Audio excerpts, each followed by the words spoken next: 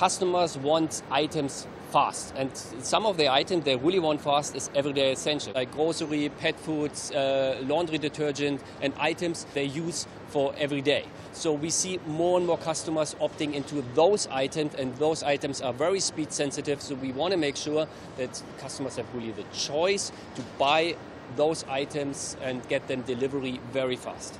So this is why we are investing in our operations network across the whole network in Europe and um, uh, using technology, AI, machine learning models to make it easier for customers to find more and more products that can be delivered the very same day.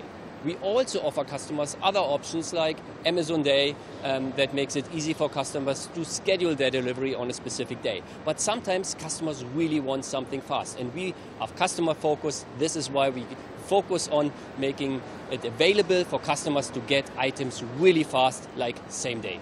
In bigger cities, in metropolitan areas, it's of course a little bit easier to roll out um, a same day delivery because we have the logistics nearby and also we have the density to make this a sustainable uh, business that really works at scale. But as we grow and as we advance with our technology, we also going to roll out to more and more uh, smaller or medium sized businesses like we have already in Erfurt, for instance. We have been using AI and machine learning models for a long time to make sure that we really can offer customers the right items at the right time. So we are now uh, getting more and more advanced and with Gen AI getting more and more opportunities and possibilities to be even better here. So making sure that the product that customers really want is at the right place at the right time, which makes the delivery then faster and more sustainable. And we can also use it to make uh, the delivery routes more sustainable and faster and optimize them overall.